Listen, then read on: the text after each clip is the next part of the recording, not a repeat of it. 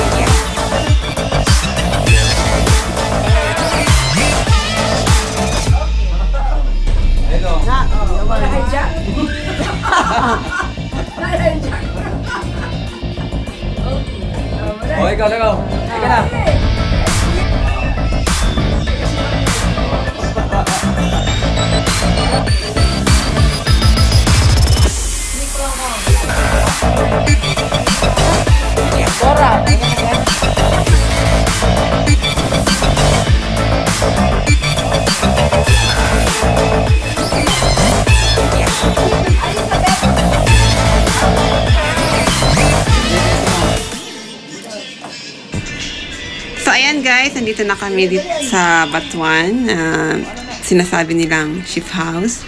Um, ito yung ah, loob ng sheep house guys. Yung, ah, parang makikita mo yung mga ano mga pinaggagawa ng mga seaman, mga seafarer. Mga ganyan guys. Ayan. Kunwari daw na isa kang timoner. Ayan.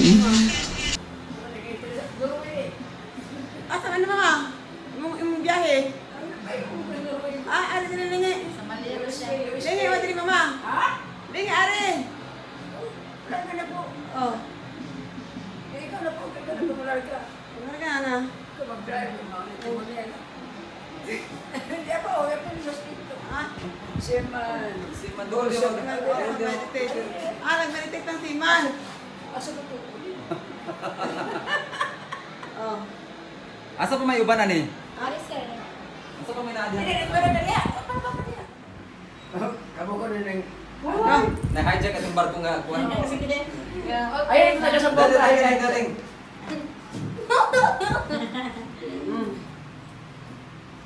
Sa laki na mata lagi. Bay. Ano ba to kay may nagding? Sige, kita ko kita rin mo sa ding. Oh. Oh, butang ano? Gina. Pa. Ah. Ah, susi. Mm. Lord, ah. Okay, ganyan sa susi. Dali ding, dali. Bitalis na sa kuwan. Kanang, kanang Okay. fight sa Cebu kanang kuwan. Kanang taekwondo. Oy, mama, sa imong gusto. Ano pirate oh? Oh, Pahirap sa mga kalo lang. Oh, sa mga kakita. Oh. Tanan ako mapicturan. Dali, dali, dali. Sinturan ko ka. Kamu tanan. Oh, nagpasa. Pirat. Oh. Ay, pag kayo niya kaya. Oo, na. Apa din alam niya. Na. Ate matamo na ng kuwan. Na, kuyawan. Ito oh. Uy! Samane! Samane! Oh. Oh, parang kayo ang ano yun. Yung kita ni. Pepe! Ikaw, ikaw, ikaw. Kina. So, ayan guys, yung loob ng ship house. O, yan, second mate. Ito yung mga cabin nila. O, ito naman yung second engineer. O, yan ang room daw. Kunwari, yan ang ship engineer.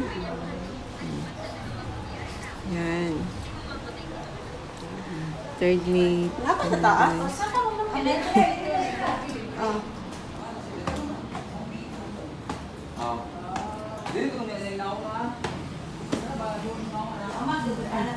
Langaw.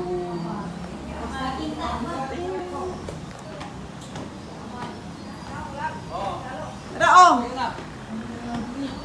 Samay mo na ako lagi ha oh. Sige na bang. Sige na. Makasaka lagi ka. Oh.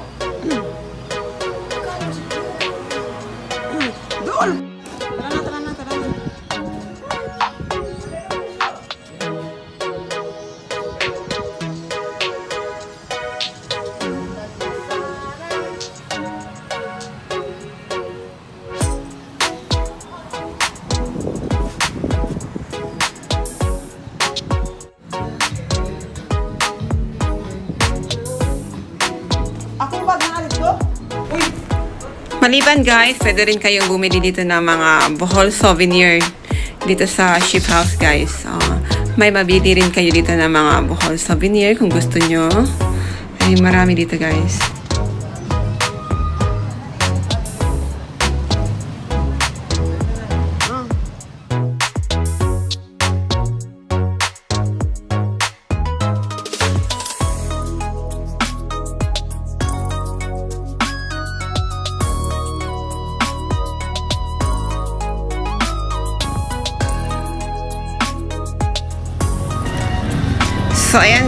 Tapos na kami dito and look forward na naman tayo sa next na madaanan natin.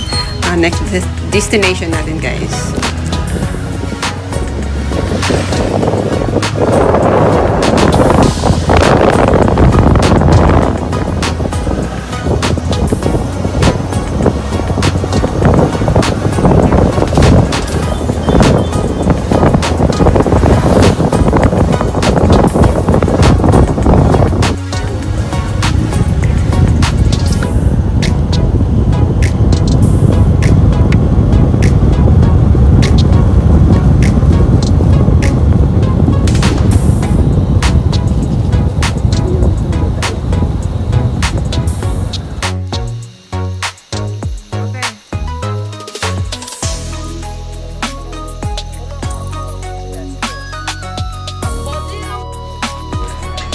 Nag-stop over muna kami dito guys nag-picture dito sa tinatawag na Bohol man-made forest guys.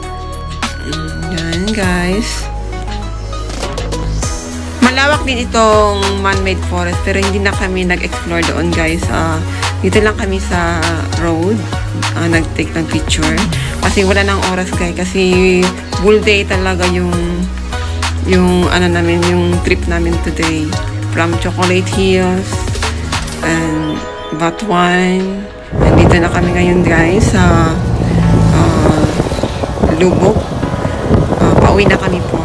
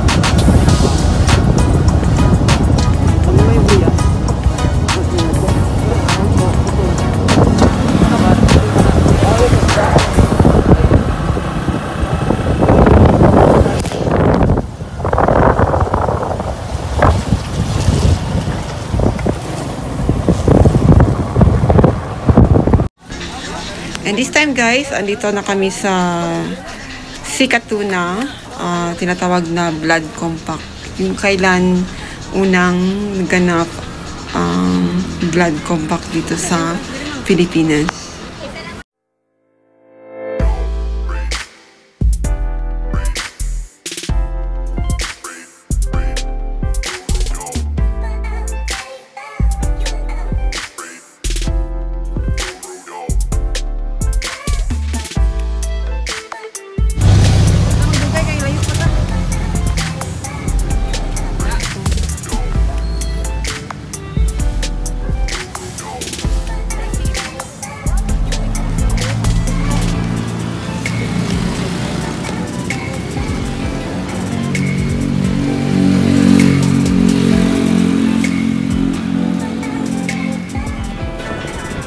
Ayan guys, ah, dito kami sa papuntang Kaingkit kasi supposedly kakain ka, sana kami doon sa STK restaurant.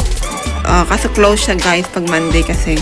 Kaya andito kami sa Kaingkit guys. Um, kasi gusto kong kumain ng mga pagkain na hindi ko makikita sa abroad. na dito ko lang matikman sa Pilipinas. Kaso nga guys, sarado na kasi hapon na siya. Magko-close na sila ng 5pm. So yung iba close na guys. Ah, kaya yung doon sa dulo na lang yung open. Kaya yun na lang siguro yung saan kami pwedeng ma- makakain kasi hapon na guys. So ayan. Sirado na yung iba. Napamalay? Mostly mga paninda nila dito guys, mga seafoods. Uh, sticky sila, sugba, tula at kilaw. So ayan guys, may lato. At yan, uh, grilled na squid. Ayan guys, yung pagkain namin. So ayan guys, pauwi na kami back to Maribohok. So one day talaga yung tour namin guys kasi malayo nga talaga ang Maribohok doon papuntang Chocolate Hills, doon sa lugar na yon. Malayo siya guys, sa abot ng one, mostly isang araw talaga yung biyahe. So, plus picture-picture pa. Ayan guys, pauwi na kami at ginabi na kami dito guys. At hanggang sa muli guys, hanggang sa muli, maraming salamat sa pagsuporta at huwag kalimutan mag-subscribe, like, mag-comment and share. Thank you so much. Hanggang sa muli. Maraming maraming salamat po sa inyo.